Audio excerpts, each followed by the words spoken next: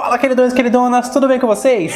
E esse é mais um vídeo de receita caseira. Dessa vez é uma receita pra pele. É uma receita que eu já uso há um tempo, né? E eu vi uma diferença bem legal. Faz uns dois meses que eu venho usando e eu vi que faz uma diferença boa. Aí eu resolvi trazer para vocês aqui no canal, que é uma receita para clarear a pele. Essa receita é uma receita que tem dois ingredientes apenas, que você tem na sua casa com certeza. E ele, além de clarear a pele, ele também tira aquelas manchas de acne, sabe? Quando você espreme a espinha tem aquela marca? Então, eu sou expert em espremer espinha. Não posso ver espinha que eu espremo. Então ela sempre fica uma marquinha. E com essa receita, as marquinhas têm clareado. Isso é bem legal. Então, essa receita, além de clarear a pele, clarear marcas de acne e de quebra também, ela faz uma leve esfoliação no rosto, removendo as células mortas. Então, ó, se você gosta de cuidar da sua pele, porque a idade chega para todo mundo, a gente tem que cuidar desde cedo e é isso aí. Eu vou lá lavar o meu rosto, mas enquanto isso, você deixa o seu like se você não deixou, porque eu sei, queridão e queridona, já deixa o like bem no início.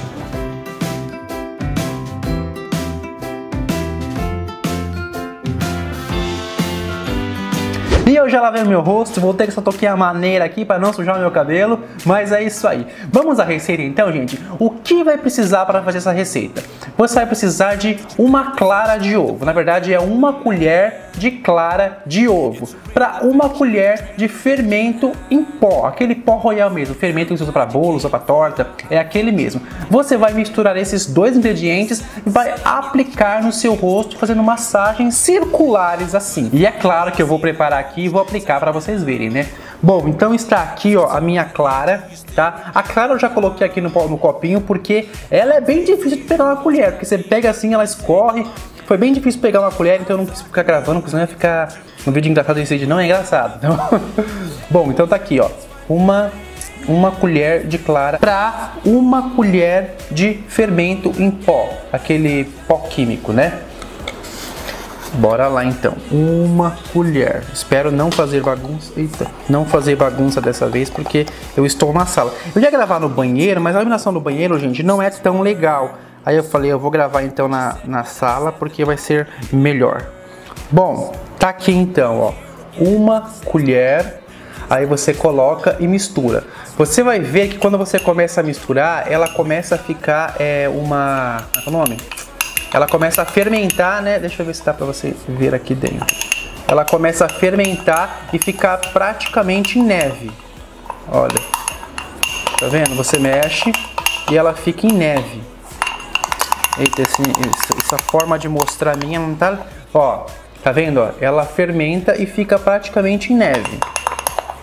E é essa misturinha que você vai passar no seu rosto e deixar agir é, por 20 a 30 minutos, porque ela vai secar, vai ficar toda branca no seu rosto e em seguida você lava, né, vai enxaguar e vai passar um creme da sua preferência que você já usa. Lembrando que essa receita eu faço em mim, eu estou apenas passando para vocês. Se você quiser fazer, você faz. Se você não quiser, você não faz, tá bom? É só uma dica do que eu faço, tá bom? Ó, tá bem em neve e é só aplicar no rosto. Bora aplicar?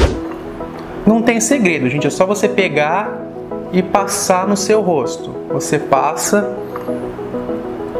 Como se você acabou de lavar seu rosto, ele vai dar uma pinicadinha, tá? Pode ser que pinique ou pode ser que não pinique. Então, se pinicar é normal. E ele vai endurecer, gente, tá bom? Ele vai endurecer no seu rosto e é isso mesmo. Você aplica assim É muito simples de aplicar. Deixa eu aplicar aqui nessa barba também. Aplicar em tudo. E assim que aplicar, você deixa agir por... Eu vou deixar meia hora e venho mostrar para vocês como que ele fica seco. Você vai sentir a pele repuxar toda, porque ele vai começar a secar e vai ficar, vai ficar tipo enrugada a sua pele, né? Mas não vai ficar enrugada depois, tá bom? Ele vai enrugar só na hora de você aplicar. Aí, aplicar não, na hora dele secar. Aí conforme ele for secando, ele vai enrugando, mas depois sua pele vai ficar parecendo uma bunda de neném. Pode crer. É isso aí então, eu vou deixar aqui ele clareando, clareando não, ele secando e eu mostro pra vocês, tá bom? Eu tô olhando aqui do lado, eu tô olhando no visorzinho pra ver se eu apliquei tudo certinho. Ó, passou 10 minutos, já começou a endurecer, começou a ficar branco, você tá vendo? Então, ó, é normal, tá bom? Vai ficar bem esticada a sua pele, vai ficar bem branco.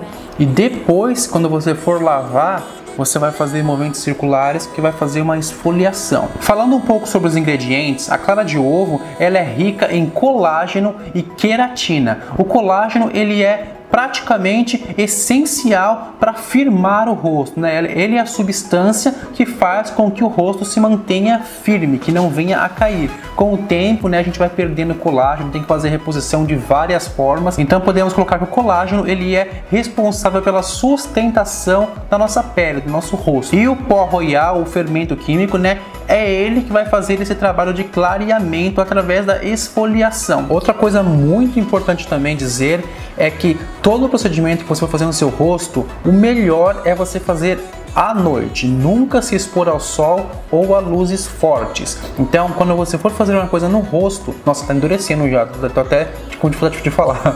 Você faça à noite. Então, se você for fazer esse aqui, faça à noite que é melhor, porque inclusive a sua pele, você, quando você for dormir, ela vai descansar, né? Bom, agora eu vou lá lavar e eu volto aqui para falar um pouquinho mais com vocês. Prontinho. Bom, deixa eu mostrar aqui para vocês, né? Lavei, né?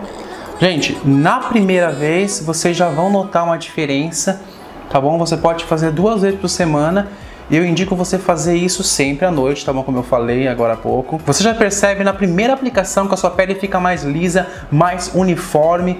Parece que é besteira, gente, por ser um produto natural, né? Mas é, é muito bom. Faça aí e depois você me fala, tá bom? É isso aí então, pessoal. Espero que você tenha gostado dessa receita. Se você gostou, é claro, clique em gostei. Se você for fazer, melhor ainda, me escreve aqui depois como que foi. E é isso aí. Fique com Deus, se inscreve no canal. Abraço para todos e tchau.